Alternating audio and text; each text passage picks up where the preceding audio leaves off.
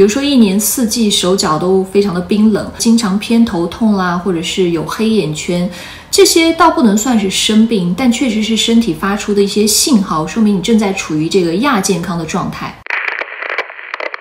嗨，大家好，欢迎回到哈 Talk。二零二一年的第一本书呢，想和大家分享一个爱自己的观念。去年的一整年呢，整个世界像是被打乱的，就像一个生病当中的人呢，他是没有办法正常生活的。那对我自己来讲呢，去年年底的时候也是进了一次医院，做了一个小手术。当时在住院的时候就觉得生病这件事情真的是非常的无能为力。所以归根结底呢，好好的爱护自己才是好好生活的第一步，对不对？尤其是女生，从女性刚出生的那一瞬间起呢，大概就已经。选择了难度系数比较高的模式。这边不是说男生活着就不累，活着就简单，而是从生理方面讲，女性呢会经历男性这一辈子的可能都体会不到的一些麻烦。今天推荐这本书呢，叫做《女人都想要的暖养指南》。听到这个书名啊，很养生的感觉，对不对？所以很多二十出头甚至是十几岁的小朋友一定会觉得与自己无关。其实呢，这个和年纪是没有关系的，哪怕年纪再轻的女生呢，都要开始有这个保护自己的意识，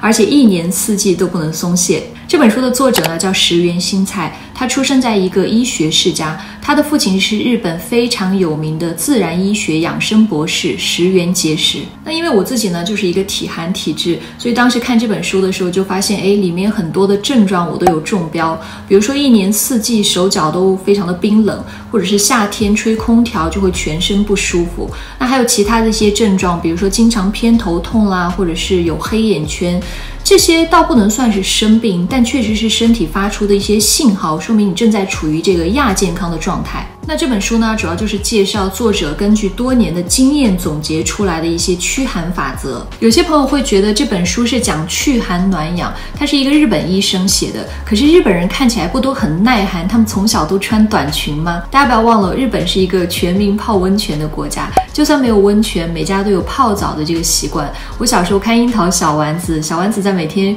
睡前呢，都会跟姐姐一起泡澡。泡澡呢跟淋浴是不一样的，因为淋浴不能让身体由内而外的暖起来，但是泡澡呢可以兼顾到肩颈这些部位，彻底的放松神经，提高睡眠质量。所以如果有条件的话，作者还是建议大家经常去泡澡。那实际情况并不是每家都有浴缸，对不对？尤其是卫生间比较小或者是住宅宿舍，就算家里有浴缸，每天泡澡呢也是比较费水和不环保的。那这个时候呢，就有一种更简单的方法，就是每天都泡脚。可以买一个比较深一点的桶，让水呢没过小腿，在水里面加一些姜末或者是浴盐。还有个更简单的方法，就是直接在淘宝买一些中药的泡脚包。每天呢花个十五分钟、二十分钟，让自己忙碌了一天呢有一个放松的时间。尤其对于痛经的女生来讲啊，如果你没有什么病理性的痛经原因的话，如果只是这个生理痛，那你一定要试一试每天泡脚，效果非常好。寒凉体质的女生呢，还要注意每天吃进去的食物。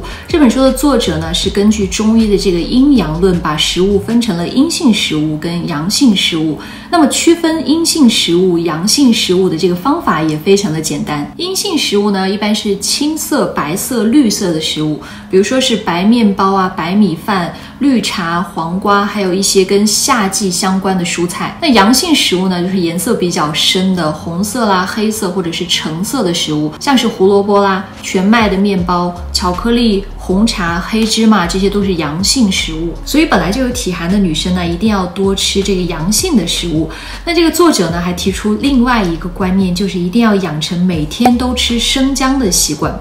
对于我自己来讲呢，生姜更像是一种调味料，或者是偶尔喝一个姜茶。可是生姜对于日本人来讲是一个很重要的食材，他们有一个词啊，叫做“生姜族”，就是这些人不管是吃饭或者是喝茶，都会放一些姜末在里面。而且生姜啊、胡萝卜、大蒜这种食材，它不仅可以很好的驱寒，还有很好的这个抗癌的功效。除了泡澡、泡脚、吃东西呢，我们还可以通过运动来养成温暖的体质。人体在制造热量的过程当中呢，有百分之四十的热量是由肌肉贡献的。那么我们人体有百分之七十的肌肉又是集中在下半身的，所以如果运动的重点放在下半身的话，我们是很容易热起来的。那除了常规的跑步、健身、游泳运动之外呢，这本书还推荐了很多我们可以利用碎片时间做起来的小运动，比如说上班、下班，在公交车上、在地铁上做家务的时候，去超市买东西的时候，这些都可以是积少成多的运动量。那这本书还有一个很重要的部分，就是它推荐了一些一年四季都适用的暖阳小物。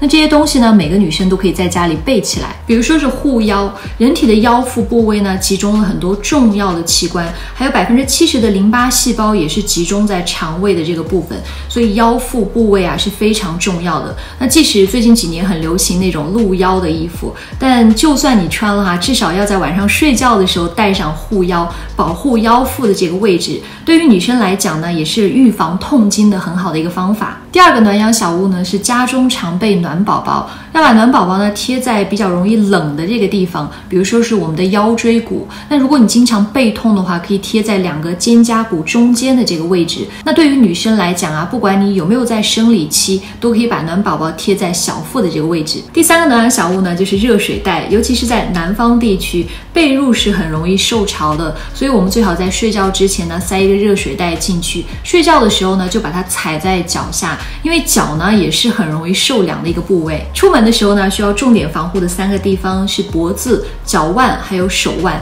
因为这三个地方啊，它的动脉是离皮肤表层很近的，一旦这边受凉了之后呢，全身就很容易变得冰冷。那这本书还有一个很重要的方面是介绍如何通过一些保养的方法，让女生摆脱一些身体上的不适，比如说失眠啦、贫血啦、皮肤干燥，甚至是抑郁的情绪，这些都是跟我们身体的血液循环呀、保暖有很大的关系。所以如果对这方面感兴趣的朋友呢，都可以买这本书来看看。它里面呢有非常多的插。插图可以很直观的了解到里面所说的这些内容，那么也从吃穿运动等各个方面呢，给女生一些改善体质的建议。那毕竟呢，身体是一切的本钱。那也希望呢，大家在新的一年中可以健健康康的去追求自己美好的生活。好了，那本期的内容就是这样了。这里是哈哈 Talk，我们下期再见啦，拜拜。